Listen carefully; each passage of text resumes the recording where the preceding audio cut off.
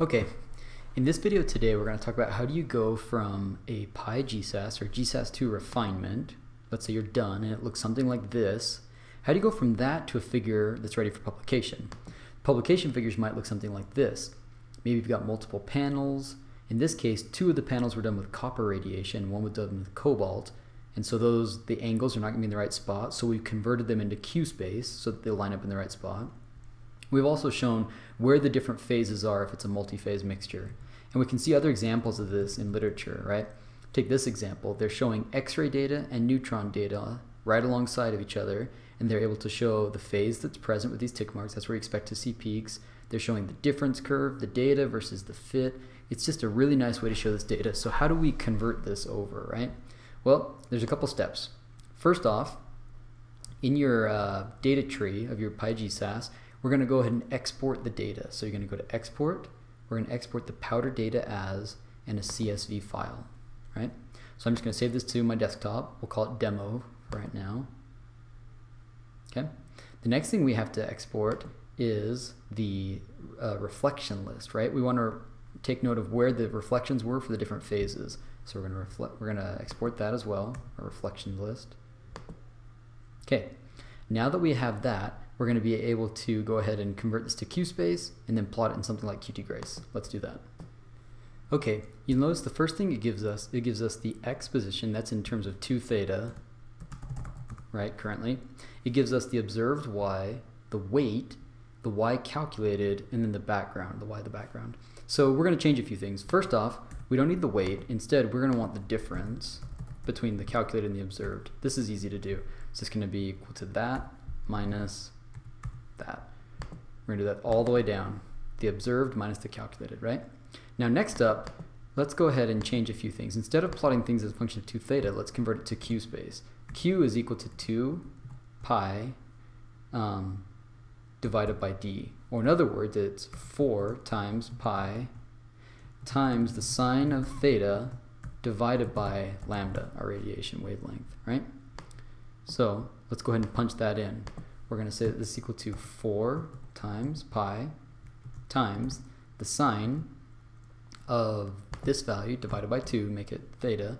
And now sine by default in Excel is in radians, so we need to turn that into degrees. So we're going to multiply that by pi and divide that by 180. Now we're not quite done. We also need to divide this by the wavelength, which in this case it was cobalt radiation, so our cobalt K alpha radiation is 1.78901, right? Now we've got a value, we can send that all the way down. Okay, now it's in Q space. Um, we won't need 2 theta anymore, so instead of just getting rid of this, since this value depends on it, what we're going to do is we're going to copy this, and we're going to paste it special, and we're just going to paste the values over top of that first column. Now that lets us get rid of this column, and we're ready to go. We've got our Q value, we've got our Y observed, difference, calculated, and background. Before we go ahead and import this into our plotting program, let's go ahead and make sure that our um, reflections list is also in QSpace. So over here, this is our reflections list. There were two phases that we refined, right, in our quantitative phase analysis. There was cobalt O and cobalt 3O4, right? The first phase is rock salt, the other one is spinel. These are plotted in 2 theta and not in Q space. So we need to convert those to Q space. That's easy to do. We know how to do that. First, let's grab them, give ourselves a little room over here to work with. And again, we know it's equal to 4 times pi times the sine of this value divided by 2 multiplied by pi divided by 180. And then divide that by the radiation wavelength, 1.78901. Okay, that is now in QSpace. Let's grab those and also plot them over here. Okay, we're in good shape. So now we've got our um, our QSpace for our reflections. We're gonna give it an intensity. I'll show you why in a minute. We're gonna make these one for just a moment.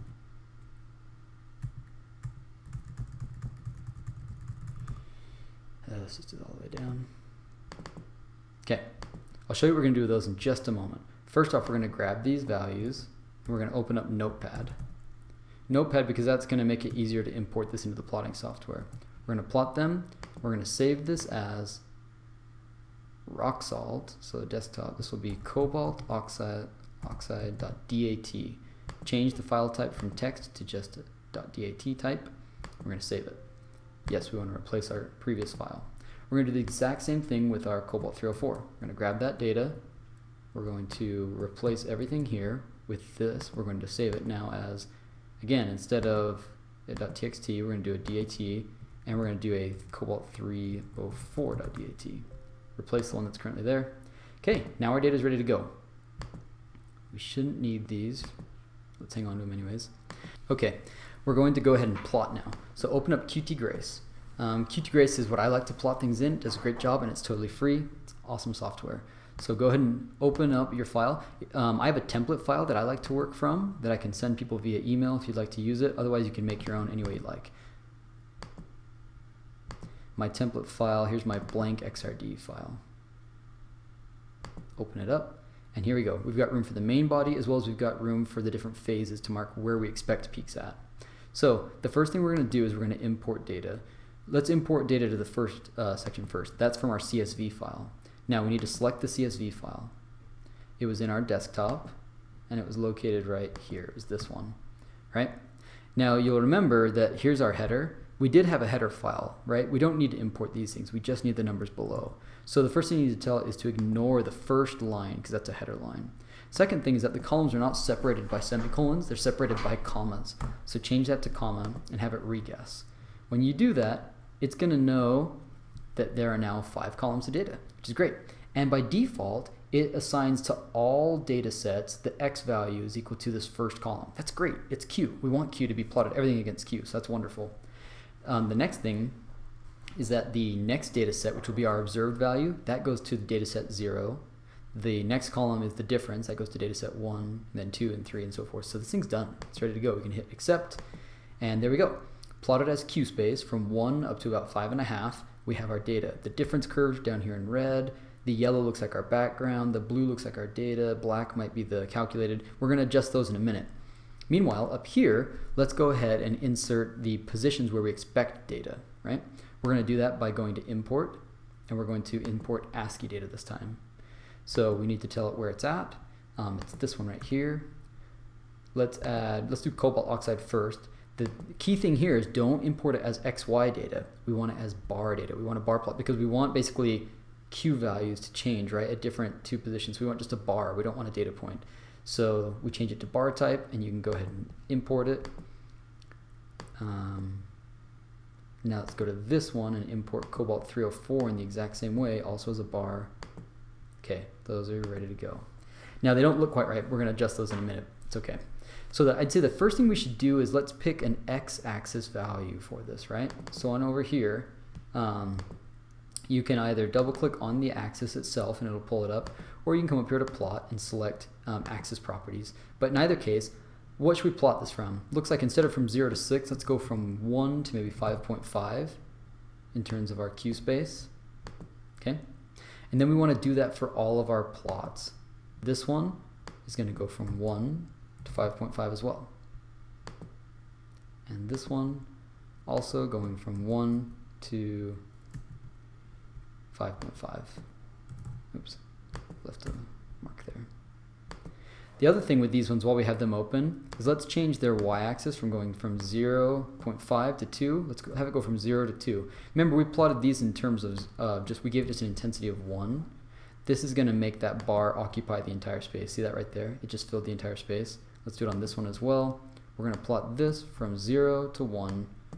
So our bar chart just looks like a solid line there. Okay? So now we've got our two lines. Let's make sure that one is the right x-axis. Yeah, 1 to 5.5. Great. So our x-axis is correct. We can go ahead and save this in case we want to change something. This will have us good to go. Um, I'm just going to put this as demo.agr. Anytime you save in Qt Grace, it's a .agr file. Okay. It says, hey, would you like to override? We don't want to override that. We want to save this as a new file. Let's try that one more time. Oh, I see, right over here, I put that in the wrong spot. XRD blank, let's change this to demo.agr. There we go. Okay, now it's a demo.agr file, we've got that data. Now the only thing I'd uh, do left is we could add a legend, we could add some labels on this, we could get rid of these numbers, and we can change whether we're lines versus data points. Let's start with lines versus data points. When you're plotting data versus a fit, data should have data points, whereas a fit can be just a solid line. We know this first one is what? That's the first data set over here. That's our observed values. So those are actual data. So let's make those markers, right? Let's give it circle markers. Now that's too big. Let's make those smaller. Maybe even like that small. Choose a nice color for it. We're going to get rid of the line. We're going to have no line there, right? And you can choose a, a color that you like, right? Right? If you wanted to, right now these are just uh, circles and they're not filled. You can adjust the fill if you'd like. Let's say the pattern, we want it to be a filled pattern, and instead of being a dark blue filled pattern, let's say we wanted to do a white fill. Now the data points are going to be filled. That's one option if you like, right? You can hit the apply. Now the second data set, what's the second column that we brought in? That's the difference curve. That's calculated because it comes from the calculated. So we're going to do a line there rather than data points. So it's currently set to have no data points, that's fine, but it's set to have a line.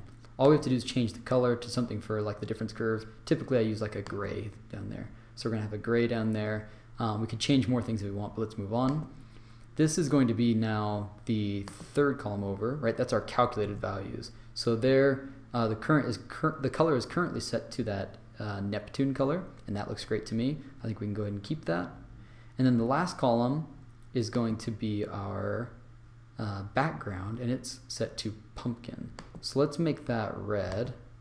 Let's use a nice red color for our background. You could change the stroke, obviously, if you wanted these things thicker or not. This is all easily adjustable, but there we go. Now let's give these things some labels. This is our background. Up here, our third one, this was our um, calculated, or the fit. This is the difference. Oops. And the first one was data. Um, or experimental we can call it. Right, there we go. Now it's ready to go.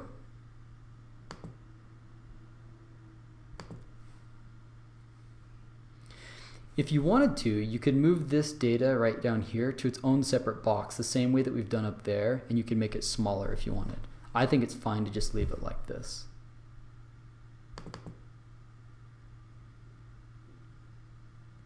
Um, looks like we're missing one thing here. It looks like our, let's see, our observed values, let's see, our observed value, experimental values here, it has no line. Second one is the difference, it only has a line. Third one is the calculated, ah, I see.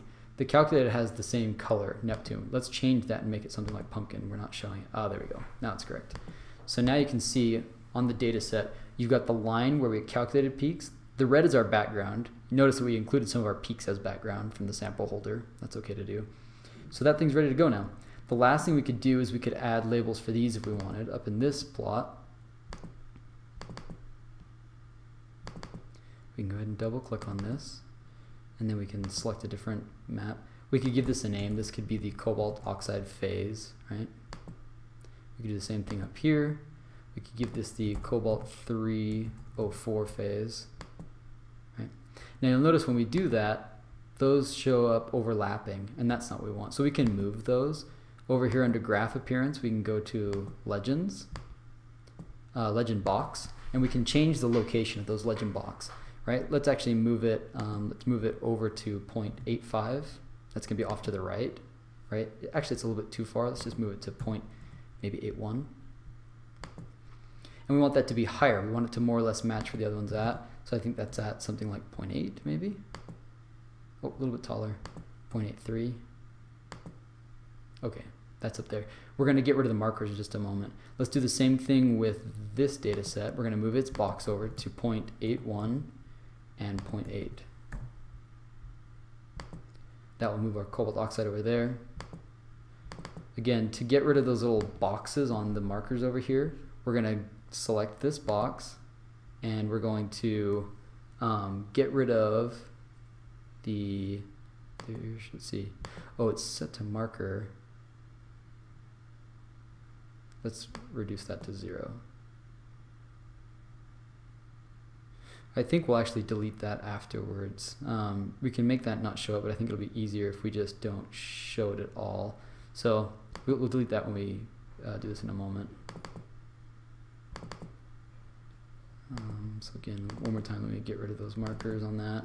We're going to go up here, select that, and for that one, we're going to get rid of our markers. Okay.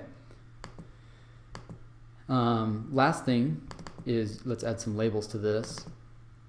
We don't need any y-axis uh, labels actually, right? The tick mark, since this is um, since this is diffraction, it's in it's arbitrary units. So you could put intensity, and you could put um, AU for arbitrary units. That would be okay.